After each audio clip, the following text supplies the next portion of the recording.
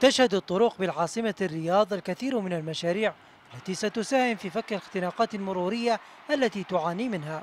ومن هذه المشاريع طريق الأمير تركي بن عبد العزيز الأول والذي شهد تطورا وتغييرا بإنشاء أنفاق به.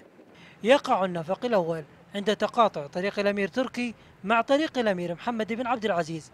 أما المشروع الثاني فهو مشروع نفقي طريق الملك سعود المتقاطعين مع طريق الملك خالد وطريق الناصرية. ودشن هذه المشاريع أمير منطقة الرياض الأمير فيصل بن بندر بن عبد العزيز.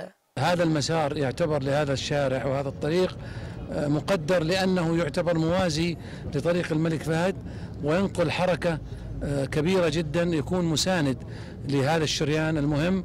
وهذه المسارات الرائعة ستؤدي خدمتها للمواطنين إن شاء الله وسيلمسون الفائدة بشكل جيد وأشكرهم على تحملهم صبر لهذه التقاطعات التي عمل والتحويلات لإنجاز المشروع.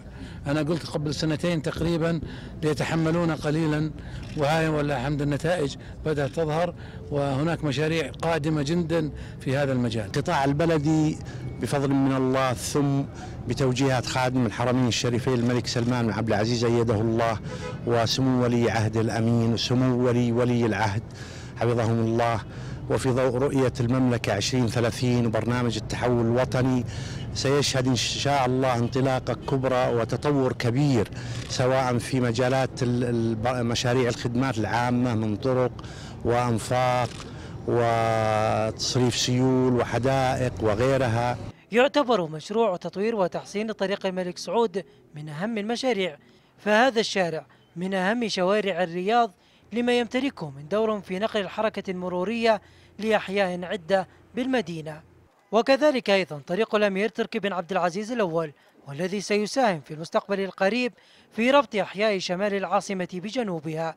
وتكلفة تبلغ 270 مليون ريال.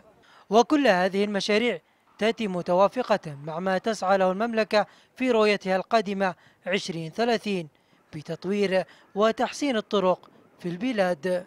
خليل الجبيري الإخبارية الرياض.